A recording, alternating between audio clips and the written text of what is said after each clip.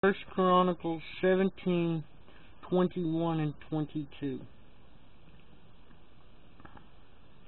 And what one nation in the earth is your people Israel, who God went to redeem to be his own, to make you name a name of greatness and awareness by driving out the nations from before your people, whom you have redeemed out of Egypt.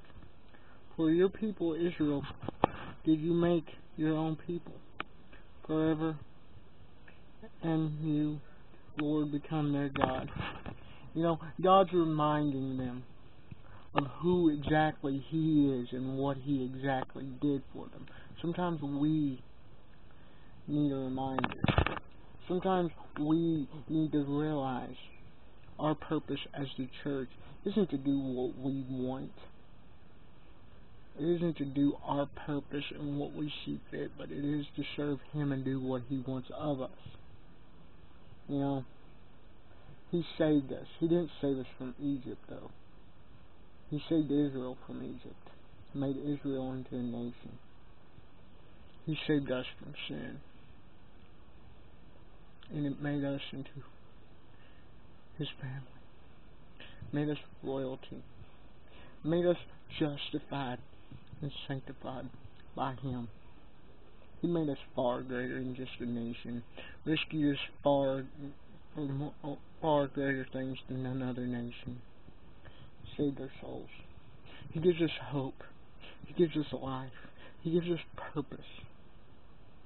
We need to give him praise we need to realize who He is and truly accept Him and follow Him. He, God has done great miracles. He did great miracles out the nation. God's done miracles. God has shown who He is. He gives us the blessing if we're His to show us who He is to where we can come. That isn't something He has it's a blessing allowing us to come to Him through faith. It's a blessing. We take that so much for granted that we're owed salvation. No, we know salvation. We're freely given it through His mercy and grace. We don't deserve nothing, but He gives us everything.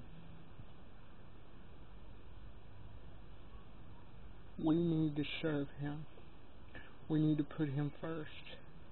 You know, if we put anything before Him, then that becomes our God, not Him. Oftentimes we put what we want before Him. We make ourselves God. It's called pride. We need to be humble and be servants to Him. Because doing anything other isn't truly allowing Him to be the Lord of our life as He should be.